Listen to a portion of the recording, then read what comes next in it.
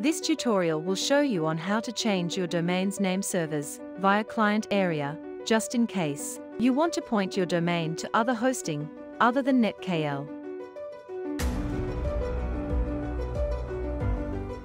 Firstly, log into your client area.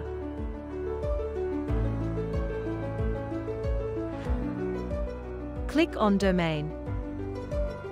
Choose the domain that you want the name servers changed. Click on this down arrow and click on Manage Name Servers. Click Use Custom Name Servers. Then, insert the new name servers here, like this.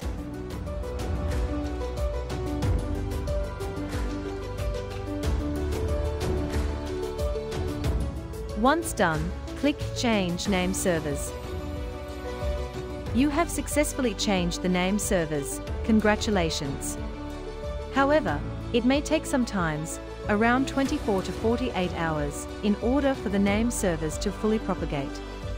After 24 hours, to know whether the name servers have fully propagated or not, you can check at whatsmydns.net, like this.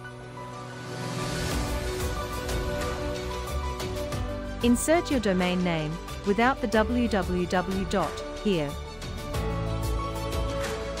And click NS from the drop-down list. And click Search.